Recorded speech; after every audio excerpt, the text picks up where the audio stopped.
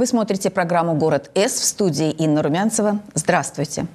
11-12 октября в Самаре будет работать творческая лаборатория с вопросительным названием «Чтение – это искусство». Какие писатели приглашены на встречу с молодыми любителями художественной литературы? Кто из активных читателей сможет принять участие в мероприятии?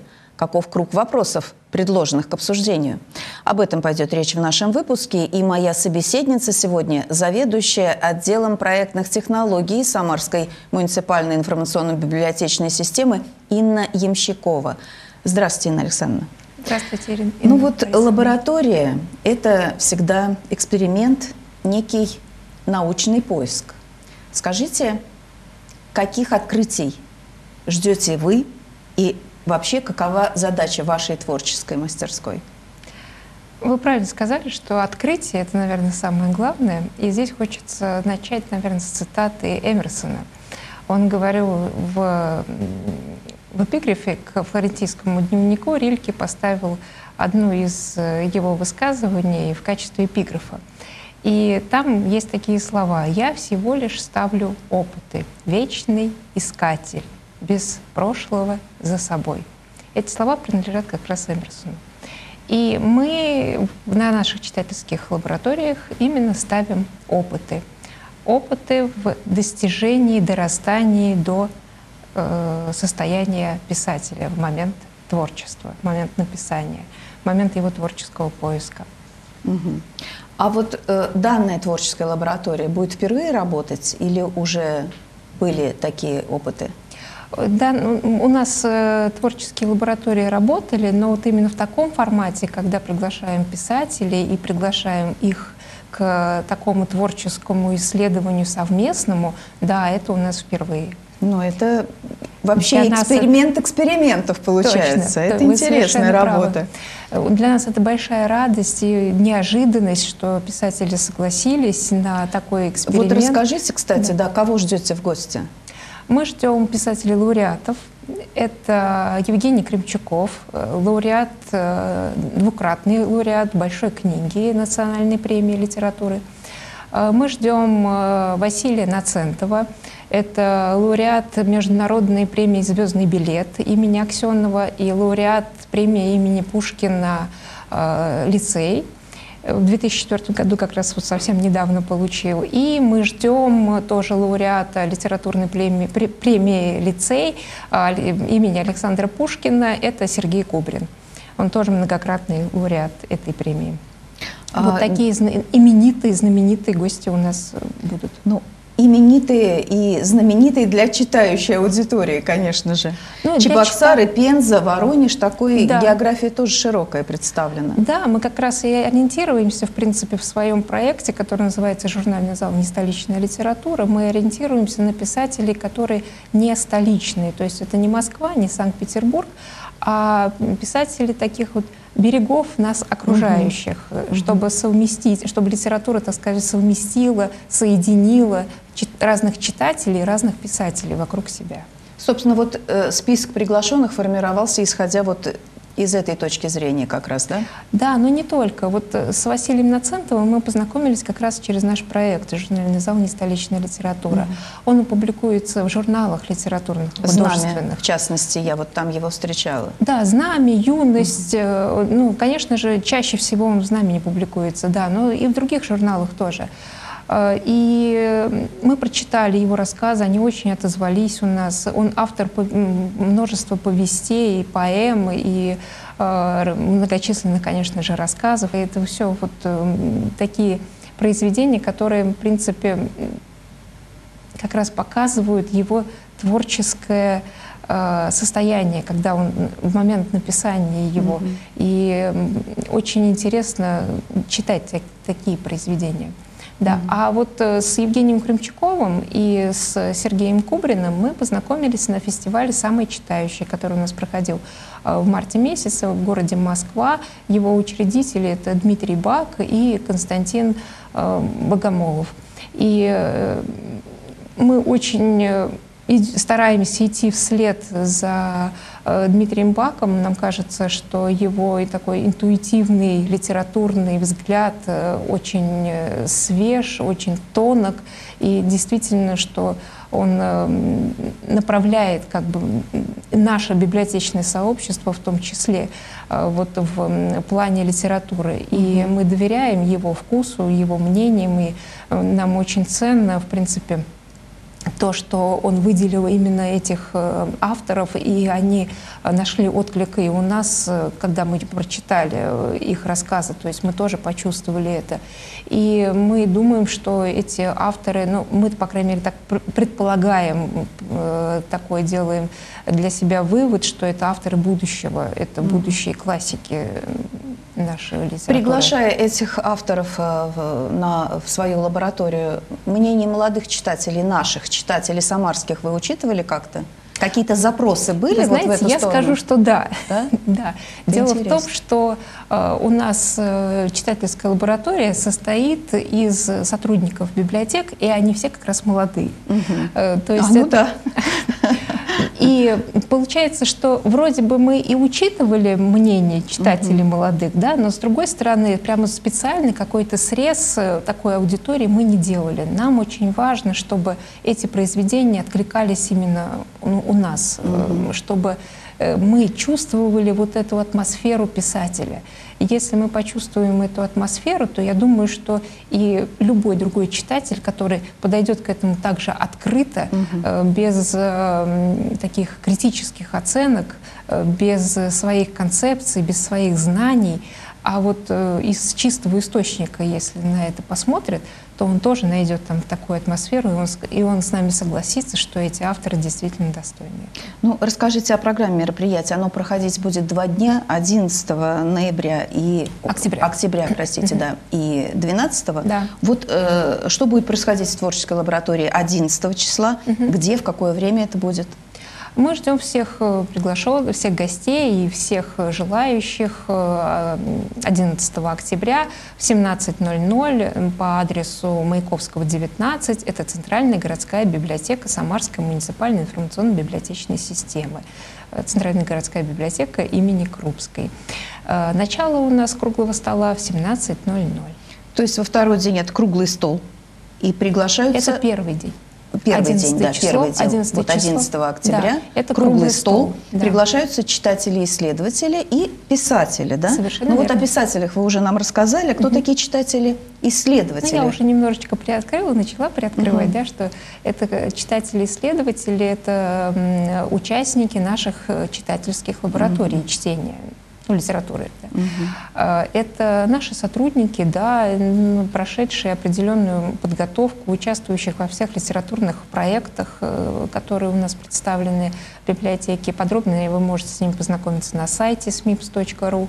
И э, это э, участники, сотрудники, которые непосредственно открыли для себя тоже этих авторов, э, познакомились с их текстами, с их произведениями. И мы понимаем, что у нас очень такой большой э, промежуток в социальном статусе, что, конечно же, писатели для нас, они выше, но в том месте, когда мы начинаем читать э, текст, и в том месте, где чувствуется атмосфера автора, как говорил Михаил Чехов, драматург, э, что это самое главное — почувствовать атмосферу текста, атмосферу любого произведения, и это станет произведением искусства. И, конечно же, вот почувствовав эту атмосферу, и мы когда смогли передать ее и на экране, так скажем, потому что все наши выпуски, они записываются и выкладываются, и когда ты получаешь отзывы, что да, это интересно, это так замечательно, и еще интереснее, и более так тронуто и трепетно относишься к этому, когда сам автор тебе говорит, что что-то такое удалось открыть, что вы попали, что это очень интересно, конечно же, это вдохновляет. И вот именно в этом месте, в месте создания атмосферы, когда мы соединяемся, мы становимся очень близки к автору. Круг и вопросов очень интересный для обсуждения, для круглого стола предложенный. Угу. Вы озвучите эти вопросы, пожалуйста, ведь вы приглашаете на этот круглый стол э, не только читателей-исследователей, а вообще всех желающих, всех да, любителей конечно. литературы, конечно. и они должны тоже, наверное, понимать, о чем пойдет речь. Какие ну, первый вопросы? вопрос, который мы поставили в заглаве, конечно, это же чтение, это искусство, мы спрашиваем, но чтение не, про, не просто чтение, а чтение художественной литературы. Хотелось бы здесь сделать акцент и спросить, чтение художественной литературы — это mm-hmm. искусство? И, конечно же, еще один из вопросов, в принципе, чем отличается чтение художественной литературы да, от чтения вообще. И когда мы говорим э, искусство чтения художественной литературы, что это? Э, мы стараемся, конечно же, уйти от э, рациональности такой вот, э, чтобы это было э, больше интуитивное, больше такое вот открытое и больше, более чувственное, чтобы действительно это было такое дорастание до писателей. Ну, я так понимаю, что читатели-исследователи, которые будут присутствовать за круглым столом, они свою-то точку зрения по каждому вопросу уже сформировали. А как вы полагаете, вот возможно поменять свои взгляды на тот или иной вопрос – в ходе э, вот, этого, вот, вот этой встречи творческой mm-hmm. с писателями и обмена мнениями, собственно говоря, вы вообще ждете вот таких вот поворотов неожиданных, возможно? Ну, я думаю, что здесь э, повороты будут все интересные, и они будут все неожиданные, потому что это такая тема творчества, она всегда неожиданная. И если мы говорим именно о поменять свою точку зрения, что у Райнера Марии Рильки есть такой термин, как «эрлебнис» — переживание. Mm-hmm.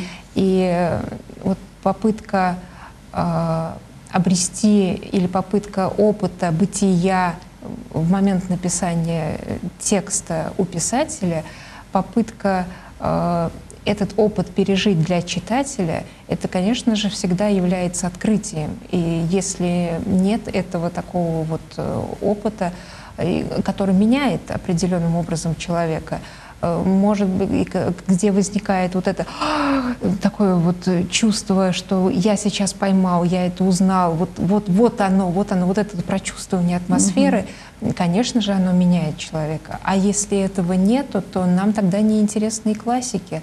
Вот совершенно с информационной точки зрения они нам совершенно не интересны, ну, с точки зрения вот такого рационального. Они не современники нам. Что мы можем от них получить? Мы их информацию. Только информацию. Угу. А как, какую информацию? Она уже ушла. Это было много лет тому назад. Это все не актуально. Но если мы так чисто с рациональной точки зрения подходим, а если мы подойдем с точки зрения такой вот э, иррациональной, да? Сопереживание. Сопереживание, совершенно верно, да.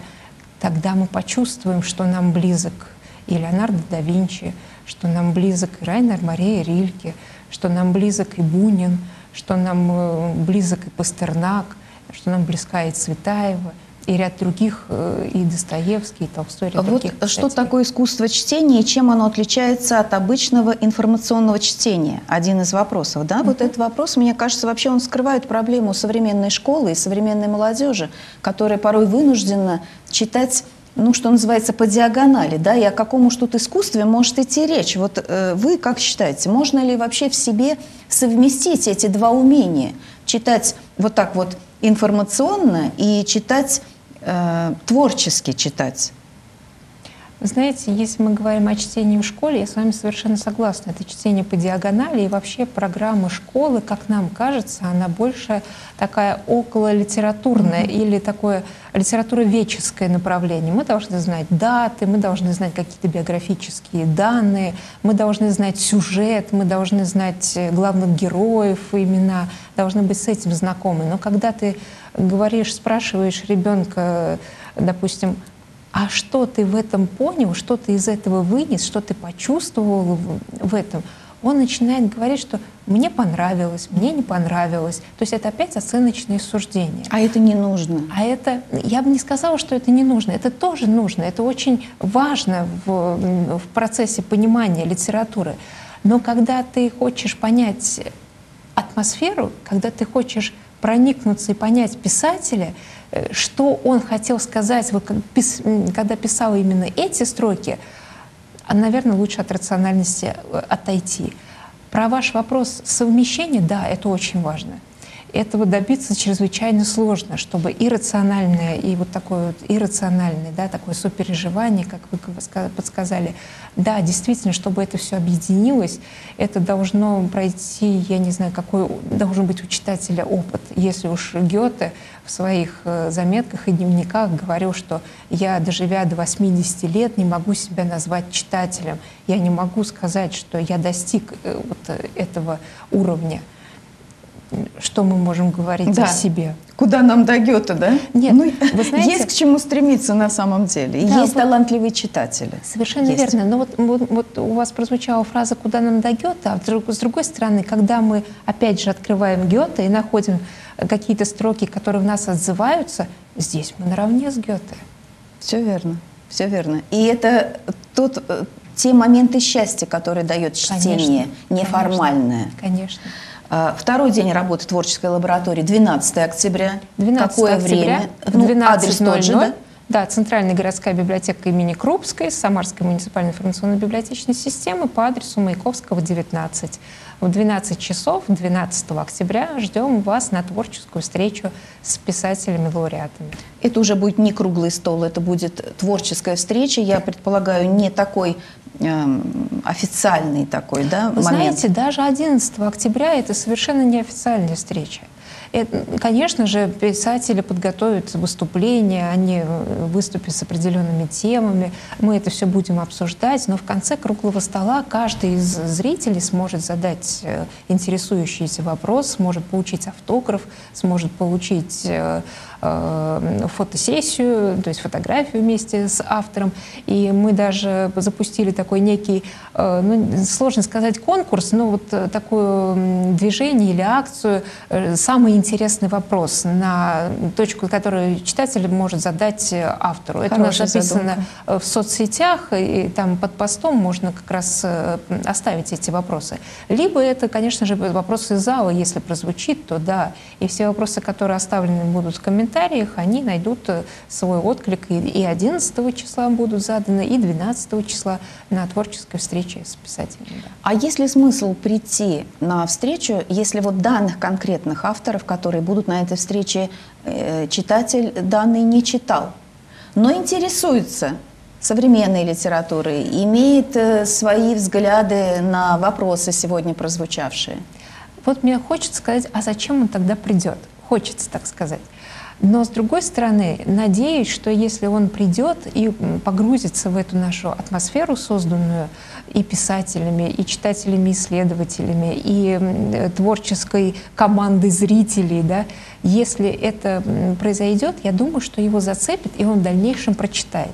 Но еще у нас же есть время, и каждый может познакомиться с этими произведениями. Они тоже вы... ссылки на эти произведения все открыты, они выставлены у нас в группе. Пожалуйста, можете обращаться к ним и вот эти вот последние денечки успеть прочитать. Тем более, что там себя рассказы, да, тем более, что они рассказы, это малые формы, они не займут много Там много времени. стихов, это же авторы еще и поэты, и эссеисты, Мы и стихи очень интересные, надо сказать, и созвучные со временем и описывающие очень непростые события в нашей стране, тем более, что это поэзия со стороны эмоций, описывающие. Конечно. Я думаю, что многие, которые даже не читали этих авторов, найдут отклик в своей душе.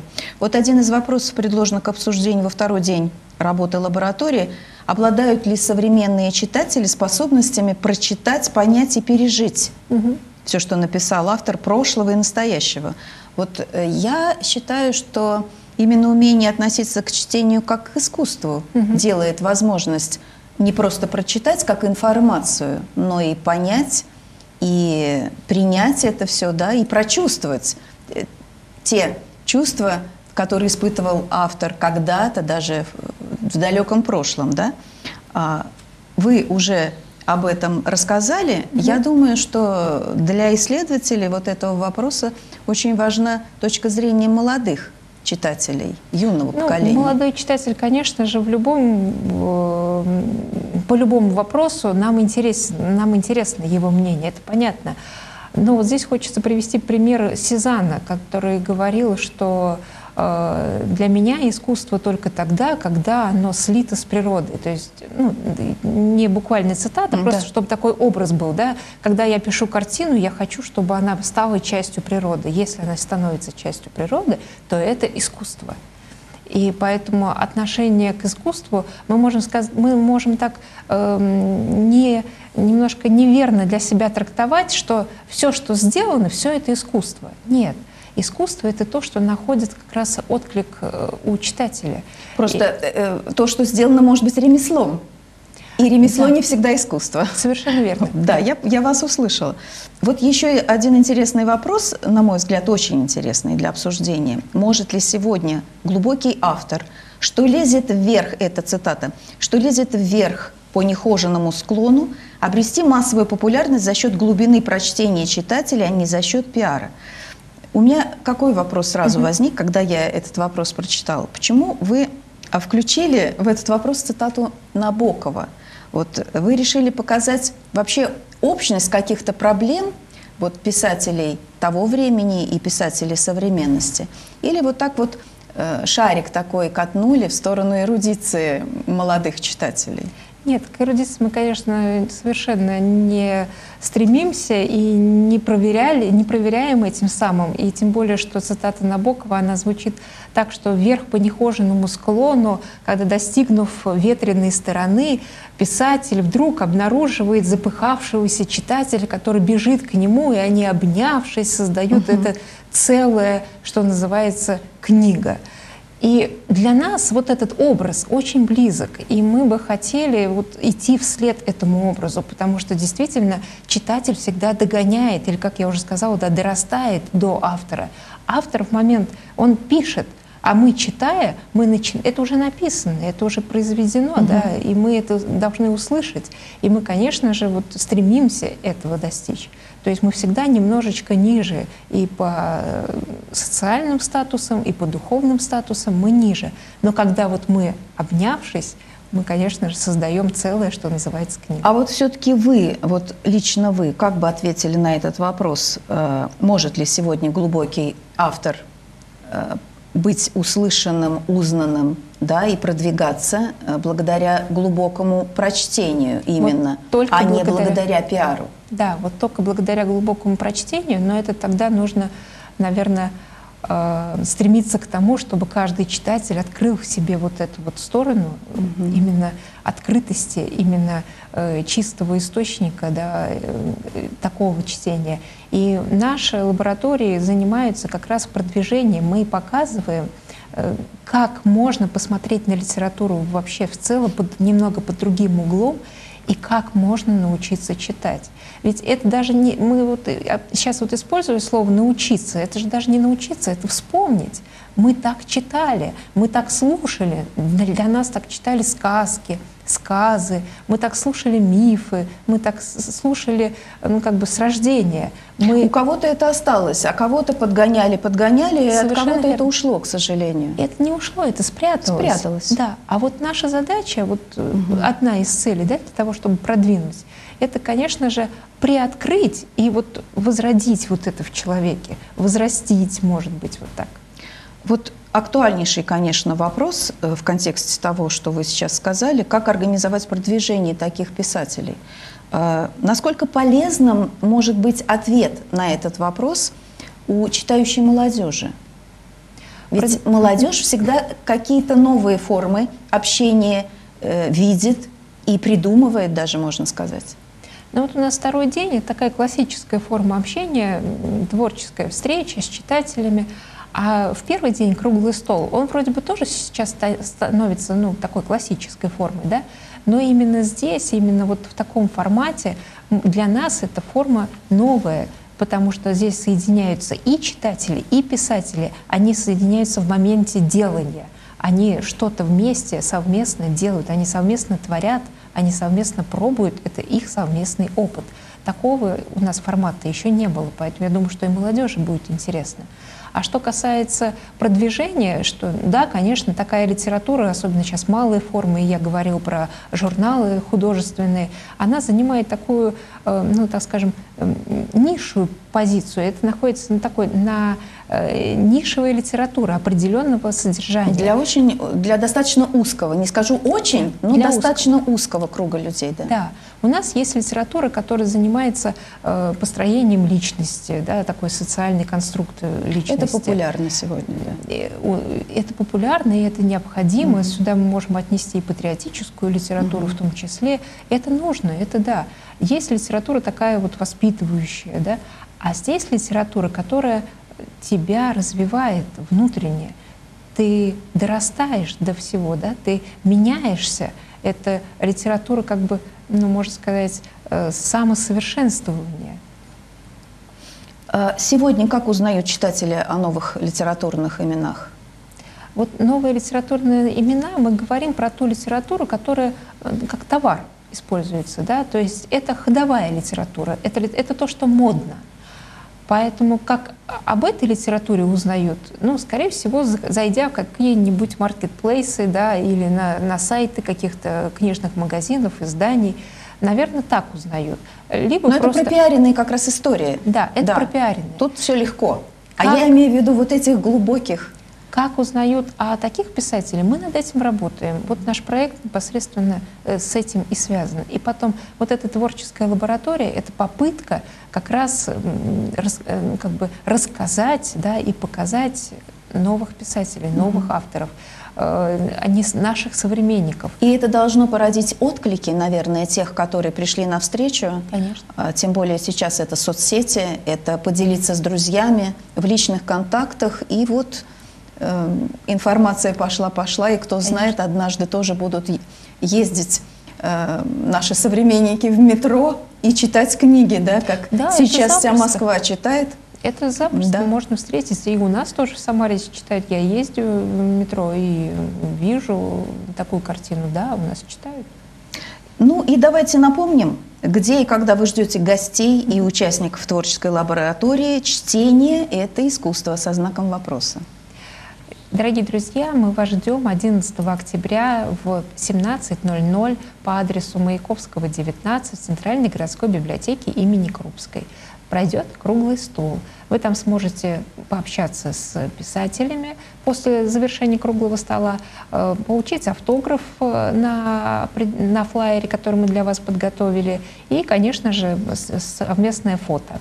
А 12 октября в 12.00 мы вас ждем по этому же адресу, тоже Центральной городской библиотеке имени Крупской, на творческую встречу с писателями. Приходите. Приходите, если вы готовы поразмышлять на тему, может ли чтение быть искусством, или это просто красивая метафора. И наше время, э, время эфирное заканчивается, к сожалению.